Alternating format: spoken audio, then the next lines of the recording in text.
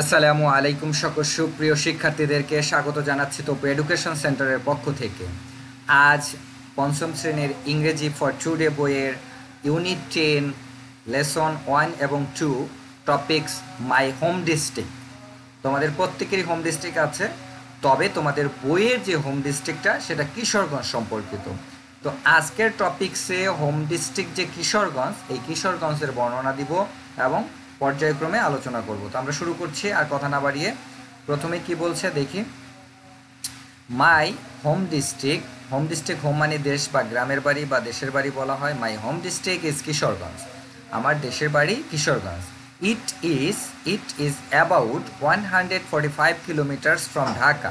মানে এটা ঢাকা থেকে একশো পঁয়তাল্লিশ কিলোমিটার দূরে। অর্থাৎ ঢাকা থেকে বেশি দূরে না, কিশোরগঞ্জটা তাহলে একশো পঁয়তাল্লিশ কিলোমিটার ঢাকা থেকে। It is a district headquarter মানে এটা একটা জেলা সদর। ডিস্ট্রিক্ট হেডকোয়ার্টার মানে কি? জেলা সদর। তার মানে এটা কিশোরগঞ্জটা ডিস্ট্রিক্ট হেডকোয়ার্টার দ্য ডিস্ট্রিক্ট মানে এই জেলায় হ্যাজ আছে। এইট মিউনিসিপ্যালিটিস এইট মিউনিসিপ্যালিটিস মানে কি? আটটি পৌরসভা আছে। আমরা সিটি কর্পোরেশনের যে পৌরসভা ওয়ার্ড যেটাকে বুঝি সেটা। আটটি পৌরসভা আছে। থার্টিন উপজেলাস। উপজেলাস বলতে বোঝায় থানাকে। হ্যাঁ এসটা যোগ হয়েছে কেন? কারণ একের অধিক দেখে যদি একটি হতো, তাহলে উপজেলা হতো। আর যেহেতু তেরোটি, একের বেশি, তাই উপজেলাস, ওকে? থার্টিন উপজেলাস, তেরোটি উপজেলা বা থানা আছে। মনে রাখতে হবে কিন্তু, এই তথ্যগুলো কিন্তু প্রশ্ন, অ্যান্সার, সঠিক উত্তর এগুলোর জন্য গুরুত্বপূর্ণ হবে। তারপরে আছে কি? One hundred eight unions. Union Parishad আছে কতটি? একশো আটটি হ্যাঁ? তো আমরা কিন্তু অবশ্যই কি করব? ইম্পর্ট্যান্ট তথ্যগুলোকে মার্ক করে নিব। যেমন এই যে আটটি পৌরসভা, তেরোটি উপজেলা, একশো আটটি union and one thousand seven hundred forty five one thousand seven hundred forty five মানে কি? সতেরোশো পঁয়তাল্লিশ, এক হাজার সাতশো পঁয়তাল্লিশ ভিলেজেস মানে গ্রাম আছে। ওকে দ্য নেম কিশোরগঞ্জ মানে কিশোরগঞ্জের নামটি কামস, এসেছে ফ্রম হতে দ্য নেম অফ একজনের নাম থেকে অ্যান ওল্ড ল্যান্ডলর্ড মানে ওল্ড বলতে পুরাতন ল্যান্ডলর্ড বলতে বোঝায় জমিদার। পুরাতন জমিদারের নাম অনুসারে নৌন অ্যাজ সবাই চেনে যাকে, কি নামে? ব্রজকিশোর প্রামাণিক অর নন্দকিশোর প্রামাণিক। যার নাম হলো কি? ব্রজকিশোর প্রামাণিক অথবা নন্দকিশোর প্রামাণিক। মানে এলাকার মানুষ এই নামে তাকে চিনে থাকে। সাধারণত এখান থেকেই এই দুজনার মানে একজন ব্যক্তি নাম হয়তো দুইটা মানে এই নামে জানতো, সেই অনুসারে এই কিশোরগঞ্জের নামকরণ করা হয়েছে। ওকে তারপরে আমরা দেখতে পাচ্ছি the area the area of Kishoreganj municipality অর্থাৎ কিশোরগঞ্জ পৌরসভার যে আয়তন, পৌরসভার আয়তনটা হলো is about ten square kilometers তার মানে কি? পৌরসভার আয়তন হলো দশ বর্গ কিলোমিটার। আমরা এটাও বুঝতে পেরেছি। তাহলে আবার এই তথ্যগুলো কিন্তু খুবই গুরুত্বপূর্ণ। মনে রাখতে হবে, এই তথ্যগুলো কিন্তু ভুল হলে তুমি কিন্তু সঠিক অ্যান্সার প্রশ্ন অ্যান্সার ট্রু ফলস এগুলোর অ্যান্সার দিতে পারবে না। ওকে দ্য রিভার মানে নদী, Narasunda follows through the town অর্থাৎ নদীর নাম কি নরসুন্দা? নরসুন্দা নদীটা বয়ে গেছে শহরের ভিতর থেকে, শহরের ভিতর থেকে বয়ে গেছে। Kishoreganj is a small town Kishoreganj একটা ছোট্ট শহর বাট কিন্তু দেয়ার আর মেনি এখানে মেনি মানে অনেক ইম্পর্ট্যান্ট গুরুত্বপূর্ণ place in and around it মানে এর চারপাশে অনেক গুরুত্বপূর্ণ জায়গা আছে। দ্য লার্জেস্ট সবচেয়ে বড় লার্জেস্ট মানে কি? সবচেয়ে বড়। আবারও বলছি লার্জেস্ট মানে কি? সবচেয়ে বড় ইথ ফেয়ার গ্রাউন্ডস অর্থাৎ যে ঈদগাহ মাঠ, জাতীয় ঈদগাহ মাঠ, যেটা সর্বোচ্চ ঈদগাহ মাঠ কল্ড যাকে ডাকা হয় সোলাকিয়া ঈদ গ্রাউন্ড মানে যেটা সবচেয়ে বড় ঈদগাহ মাঠ, নামাজের মাঠ, সেটাকে বলা হয় সোলাকিয়া আমরা নাম শুনব, আমরা ইউটিউবে সার্চ দিলে পাবো সোলাকিয়া ঈদ গ্রাউন্ড মানে বাংলাদেশের সবচেয়ে বড় ঈদের জামাত এখানে অনুষ্ঠিত হয়। অ্যান্ড দ্য ওয়েল নোন সবচেয়ে পরিচিত ওয়েল নোন মানে কি? সবাই সুনাম আছে, নামি দামি গভর্নমেন্ট মানে সরকারি গৌর দয়াল কলেজ। মানে ওখানকার সরকারি একটা পরিচিত কলেজের নাম কি? গৌরদয়াল কলেজ। আর ইন দ্য টাউন ঠিক ওই যে, তাহলে আমরা জানলাম যে কিশোরগঞ্জ শহরে একটা পুরনো নামকরা কলেজ আছে, যার নাম হলো Gurudayal college.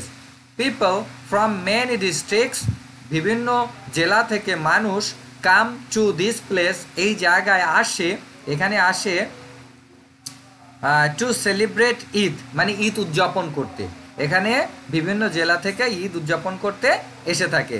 The Pagla the Pagla mosque the Pagla mosque is also in my home district মানে এখানে একটা মসজিদ আছে, এই যে আমরা পিকচারটা দেখতে পাচ্ছি। এটা শাহ মোহাম্মদ মস্কো, আর একটা হলো পাগলা কি? পাগলা মসজিদ, যেটা নামে পরিচিত, এটা আমার ডিস্ট্রিক্টে আছে। আউটসাইড দ্য টাউন মানে আউটসাইড দ্য টাউন বলতে বোঝায় শহরের বাইরে আউটসাইড দ্য টাউন শহরের বাইরে ইউ ক্যান তুমি ভিজিট ভিজিট মানে পরিদর্শন দ্য ফ্রন্ট অফ ইশাখা ইশাখার যে বাড়ির যে সামনের অংশটা অ্যাট জঙ্গল বাড়ি মানে জঙ্গল বাড়ির সামনের অংশটা দেখতে পারবে। ইউ ক্যান অলসো এছাড়াও তুমি সি দেখতে পাবে the Shah Mohammad mosque at Egarosindur. অর্থাৎ এগারো সিন্দুরে একটা মসজিদ আছে, যার নাম হলো শাহ মোহাম্মদ মসজিদ। এইটাও তুমি দেখতে পাবে, এই যে আমরা পিকচারে অলরেডি দেখতে পাচ্ছি। You can also see the Shah Mohammad mosque at Egarosindur. Near the Phuleshwari near the Phuleshwari river মানে ফুলেশ্বরী নদীর কাছে, পাশে। ইউ ক্যান সি তুমি দেখতে পাবে দ্য শিব টেম্পেল অর্থাৎ শিব মন্দির। টেম্পেল মানে মন্দির, শিব টেম্পেল অফ চন্দ্রবতী। মানে এই শিব টেম্পেলের নামটা কি? চন্দ্রবতী। ওকে এখানে কিছু গুরুত্বপূর্ণ ব্যক্তিদের আমরা পিকচার দেখতে পাচ্ছি। উপেন্দ্র কিশোর রায় চৌধুরী, আর একটা হলো কি, জয়নুল আবেদিন পেইন্টার তারপর Syed Nazrul Islam first acting president আচ্ছা Kishoreganj is also the home district of some famous people কিছু গুরুত্বপূর্ণ, কিছু জনপ্রিয় ব্যক্তিদেরও হোম টাউনের নাম হলো কিশোরগঞ্জ। যেমন কারা? তারা Chandrabati, the first woman poet. প্রথম মহিলা কবি নাম কি? Chandrabati. First woman poet of Bangla literature. Bangla সাহিত্যের প্রথম মহিলা কবি চন্দ্রবতী, তার বাড়িও হলো কিশোরগঞ্জে। ওয়াজ বর্ন হেয়ার এখানে জন্মগ্রহণ করছে। টু রাইটার্স দুইজন লেখক অফ চিলড্রেন্স লিটারেচার মানে শিশু সাহিত্যিক। দুইজন শিশু সাহিত্যিক আছে, যা একজন হলো উপেন্দ্র কিশোর রয় উপেন্দ্র কিশোর রয় চৌধুরী আমরা ছবি দেখেছি অ্যান্ড সুকুমার রয়। এই দুজন আর অলসো ফ্রম হেয়ার এরা দুইজনও কি করছে? কিশোরগঞ্জ থেকে এসেছে। তাহলে কিশোরগঞ্জে দুজন কবির নাম কি? শিশু সাহিত্যিক। একজন হলো সুকুমার রায়, আর একজন কি? চন Upendra Kishore Roy Chowdhury. From here the great painter জনপ্রিয় কি? অর্থাৎ অঙ্কন শিল্পী যেটাকে বলা হয়, জয়নুল আবেদিন। হ্যাঁ জয়নুল আবেদিনের নাম শুনেছ? আমরা যত কার্টুনে বা যে কোনো বাংলাদেশের যে দুর্ভিক্ষের এবং ভালো ভালো পিকচার দেখতে পাচ্ছি আর্টিস্ট দেখতে পাচ্ছি এগুলোর সবগুলোই কিন্তু জয়নুল আবেদিনের অঙ্কিত। Comes from Kishoreganj. তার মানে জয়নুল আবেদিনের জন্মগ্রহণ বা জন্ম হোম ডিস্ট্রিক্টও কিন্তু কিশোরগঞ্জে। ছু। Syed Nazrul Islam the first acting president মানে প্রথম ভারপ্রাপ্ত যে রাষ্ট্রপতি বাংলাদেশের Bangladesh is also from here I love my home district আমি আমার গ্রামের জেলাকে বা আমার দেশের বাড়িকে আমি কি করি? ভালোবাসি, পছন্দ করি। তোমরাও নিশ্চয়ই তোমাদের গ্রামের বাড়িকে পছন্দ করো। প্যাসেজটি কেমন লাগল? যদি কোনো ওয়ার্ড না বুঝে থাকো, অবশ্যই অবশ্যই কমেন্টসে ওয়ার্ডটা লিখে পাঠাবে। আমি অর্থটা বলে দিব। ওকে তোমরা প্রথমে যে কাজটা করবে প্যাসেজটা পড়ার জন্য অ্যাট ফার্স্ট এই প্যাসেজের শুরু থেকে শেষ পর্যন্ত কোন কোন শব্দটা তুমি জানো না কোন কোন শব্দটার উচ্চারণ বাজে সেটার নিচে একটা পেন্সিল দিয়ে বা অন্য কালার দিয়ে আন্ডারলাইন করবে। দেন ওই শব্দগুলো খাতায় তুলবে। তুলে ডিকশনারি অথবা টিচারের হেল্প নিয়ে ওই শব্দগুলোর অর্থ লিখবে। তারপরে তুমি অর্থগুলো মুখস্থ করবে। এরপরে যখন আবার প্যাসেজটা পড়তে যাবে, তোমার কাছে দেখবে যে প্যাসেজটা খুবই ইজি হয়ে গেছে। এবং তখন তুমি প্যাসেজটা বুঝে বুঝে যেহেতু পড়তে পারবে তখন তোমার এই প্যাসেজ থেকে যে এক থেকে চার নং কোশ্চেনের অ্যান্সার করতে হবে, এই সবগুলোর অ্যান্সার তুমি নিজে নিজেই সলভ করতে পারবে, কোনো মুখস্থ করতে হবে না। কারণ আমাদেরকে প্যাসেজটা অর্থসহ করতে হবে। এখানে কিছু কোশ্চেন দেওয়া আছে, এক থেকে ছয়, আমরা এই কোশ্চেনগুলো নিজে নিজে সলভ করতে পারব, যখন আমরা প্যাসেজটা অর্থসহ পড়তে পারব। তো ভালো থাকবে, এবং আমার চ্যানেলকে সাবস্ক্রাইব করে তোমার পরিচিত জন বন্ধু তোমার যে সোশ্যাল মিডিয়া আছে, সেগুলোতে কি করবে শেয়ার করবে। আর যে কোনো পরামর্শ থাকলে অবশ্যই কমেন্টস করতে ভুলবে না।